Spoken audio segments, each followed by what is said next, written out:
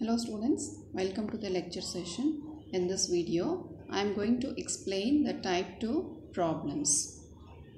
In the previous video, I have explained what are type 1 problems. In this, type 2 problems will be explained.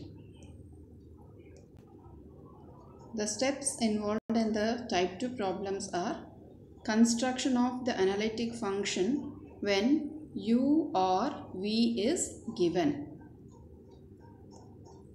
So, in this type of problems, only a real part or the imaginary part either in the Cartesian or in the polar form it will be given to us. So, first step is that either u or v is given as function of x and y. We need to find out ux and uy or vx and vy. So, if u is given any one of them will be given. We know how to find out ux and uy if v is given find out vx and vy and later we consider f dash of z is equal to ux plus i vx or if it is in the polar form we will be considering f dash of z as e to the power of minus i theta into ur plus ivr. Now coming to the first one that is ux plus ivx. Suppose only u is given to us. So we will be determining ux and uy. But we don't have this vx part. So what we need to do is this vx is replaced with the CR equation vx is equal to minus uy if u is given. Similarly, if V is given, we will be having Vx and Vy. So, what we need to do is, we need to replace this Ux with the Vy.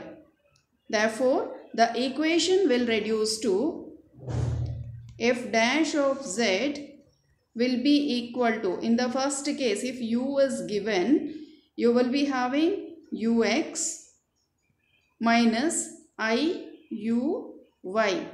Suppose u is given, this vx is replaced with the minus uy, thereby it will become ux minus of i uy. In case if v is given, it will be replaced with vx is vx is equal to sorry ux is equal to vy. Therefore, f dash of z will be equal to vy plus i vx right? So this is how it will be done. Similarly in the case of polar if u is given we have to replace vr with minus u theta by r. So if v is given uh, so ur is equal to minus v theta by r. So ux is vy in the cartesian and ur is minus v theta by r in the polar form. So once you will do this, we will be getting an expression of f of z, f dash of z in terms of x and y. Put x is equal to z and y is equal to 0 in the Cartesian form. If it is in the polar form, put r is equal to z and theta is equal to 0. Next, we will integrate that with respect to z in order to obtain the required function that is f of z. Let us see the problems now.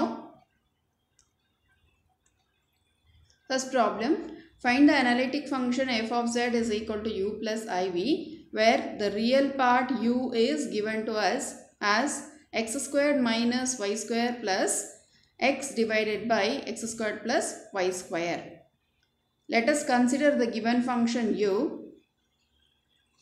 Differentiate this with respect to x. When I differentiate this, x square derivative is 2x whereas y square derivative will be 0. And when it comes to the third term that is x divided by x squared plus y square, we will be applying the u by v, the quotient formula. What does it says? v du minus u dv divided by v square. Whereas x is u and x squared plus y square is v. Now let us see v into du, right? So v is x square plus y square into du is 1 minus x into derivative of v. So when I do, do the derivative of v, it will be 2x plus 0. So only I have written 2x here. And the denominator is v square. So x squared plus y square the whole square. Next, 2x plus x squared plus y square minus x into 2x it will be 2x square. On simplification y square and x square minus 2x square will become y square minus x square. This is what is our ux. Similarly, let us differentiate what is uy. So when I differentiate this with respect to y, this part that is x square part will become 0 and y square part will be minus 2y Again we are applying the u by v that is quotient formula will be applied. So v into derivative of x with respect to y it will be 0 minus x into derivative of x square plus y square will be 2y and the denominator is v square. Anyway 0 into this will become 0 totally minus 2xy or 2yx. Therefore we are getting minus 2y minus 2xy divided by x square plus y square the whole square. Now, we have determined what is ux and uy. Now, let us consider f dash of z is equal to ux plus ivx. So, what do we get? Here, we have ux but we don't have uy.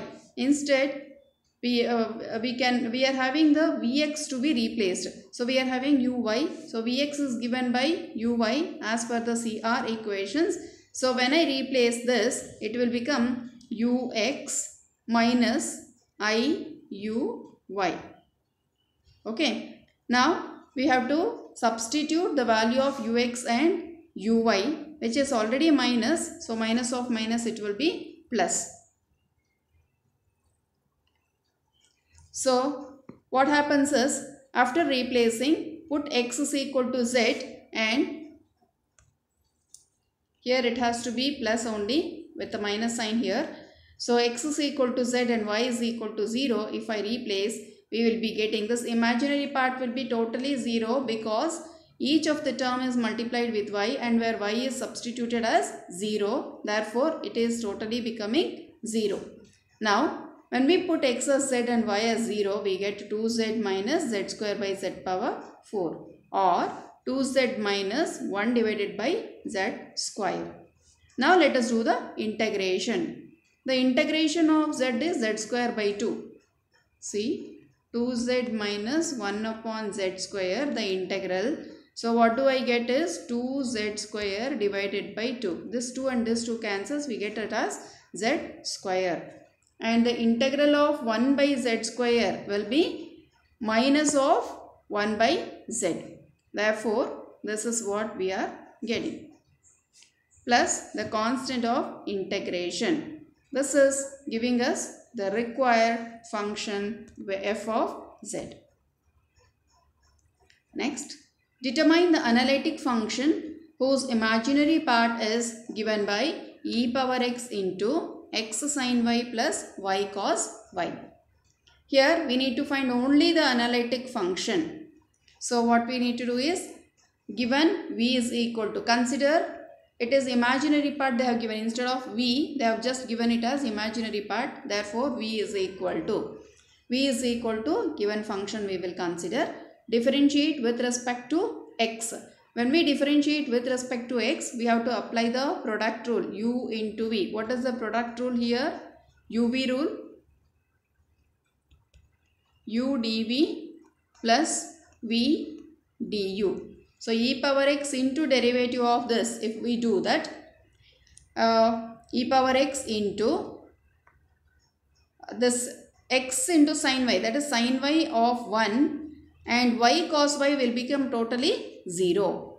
Then e power x will be differentiated. It will be as it is. Then this term is written as it is. That is x sin y plus y cos y. So taking the e power x common, what do we get here is sin y plus x sin y plus y cos y. So Vx is done now. Now let us do the differentiation with respect to y. What is Vy? When we take this e to the power of x into this, there is no product rule because e power x is treated as constant. We need to differentiate with respect to y only. When we differentiate this, x is again constant. The derivative of sin y will become cos y. And when we differentiate this y cos y, again we have to apply the product rule. So, that will become cos y plus y times of minus sine y. The derivative by using the product rule if I do, this is what we are getting. So, again rearranging e power x x cos y plus cos y minus y sin y. Now let us consider f dash of z which is ux plus i vx. In this only the vx is there. We don't have the ux. That means ux should be replaced with Vy. Therefore, the equation reduces to Vy plus I Vx. So, what is our f dash of z is equal to? It is Vy. What was our Vy? This is the Vy. Okay. This part plus I into Vx. What was our Vx? This is the Vx part. So, this part. If we substitute Again x is equal to z and y is equal to 0. What do we get? We will be getting f dash of z. Let us see in the next slide. So this on substitution we are getting f dash of z. When you put x is equal to z and y is equal to 0, what we will be getting is e power z into z plus 1. So when we are doing the integration, let us apply the rule by parts z plus 1 into e power z. We will take this as u and this as v. So it is z plus 1 into integral of this. Actually the uv formula you must be knowing u integral v minus integral of the integrated function into derivative of u. So z plus 1 into integral of e power z is this minus Integral of integrated function will be e power z itself. The derivative of z plus 1 is 1. So, what we are getting is e power z into z plus 1 minus e power z into 1 plus the constant of integration. So, in this case what happens is thus e power z when I simplify this z into e power z plus e power z minus e power z plus constant. Right? So these two terms will get cancelled. We get only z e power z plus constant. That is the required f of z.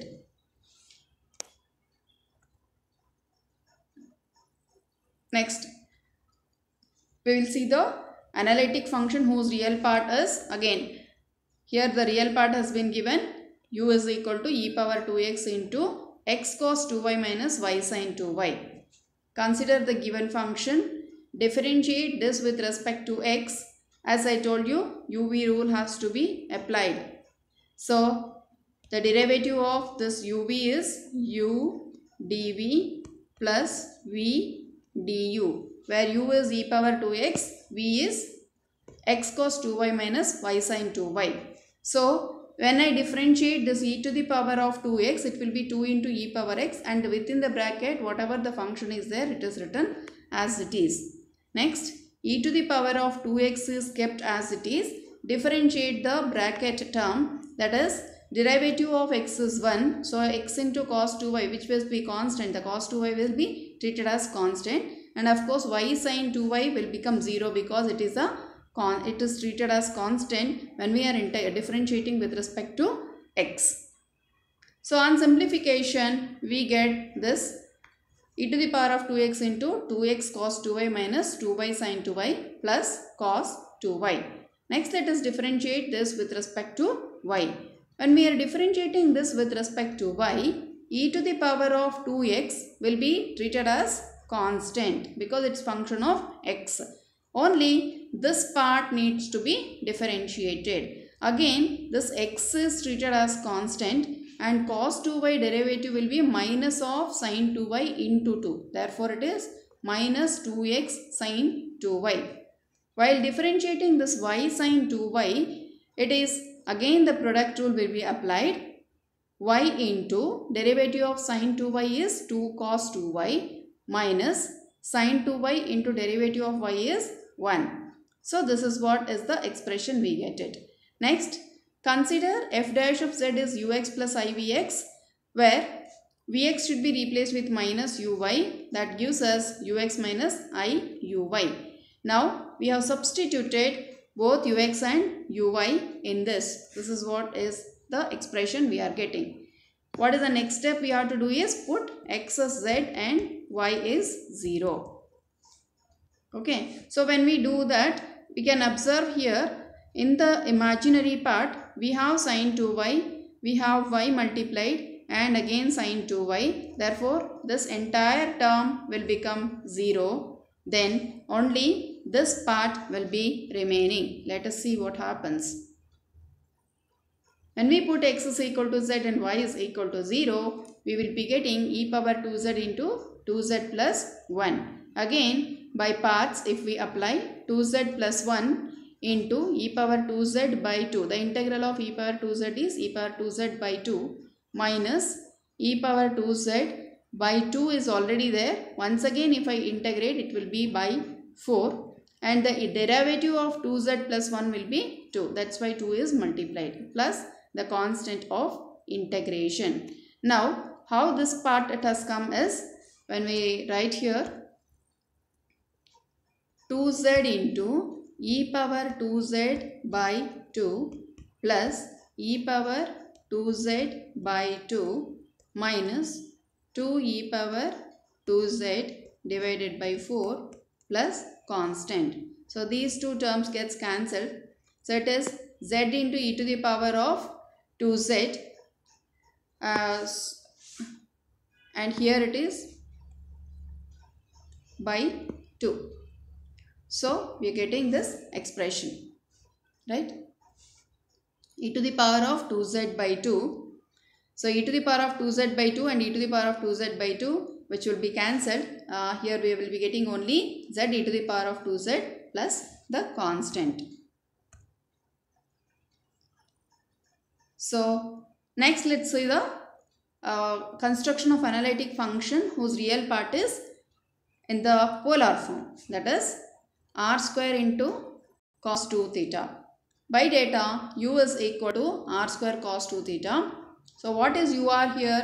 ur is 2r cos 2 theta and u theta is 2 into r square into sine 2 theta. That is cos 2 theta is differentiated. We will get 2 cos 2, theta, 2 sine 2 theta with a minus sign. Now consider f dash of z.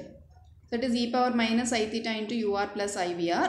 So substitute the values of UR and IVR. In the place of IVR, what we need to do is VR is minus R into VR is U theta. That is U theta by R is replaced here with the minus sign.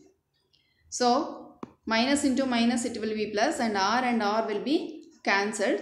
On simplification, let us see what happens. So we are getting e power minus i theta into 2r cos 2 theta plus 2ir sin 2 theta. Uh, take the 2r common and put r is equal to z and theta is equal to 0. We get f dash of z as uh, 2z and if for integration we will be getting z square plus the constant. So this is the required f of z. Thank you.